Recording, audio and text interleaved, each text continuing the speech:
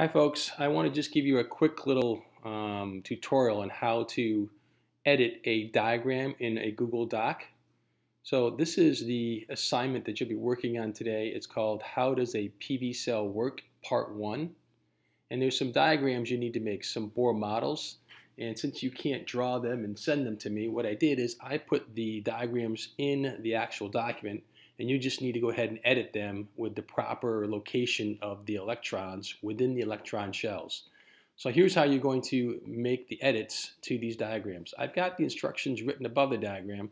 You simply just double click on the actual drawing and now you have the opportunities to go ahead and make some changes to that drawing.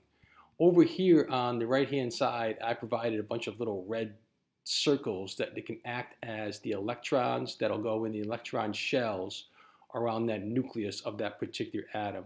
And all you need to do is either just click on the actual electron, and you can use your cursor to go ahead and move it up and down. Cursors left and right, okay?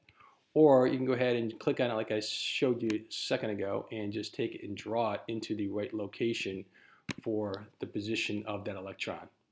And it's as simple as that. And once you are satisfied with the placement of those electrons, you just say save and close and the diagram will go back into the Google Doc with the electrons in the locations that you wanted to put them for that particular Bohr model. Okay, uh, that's it.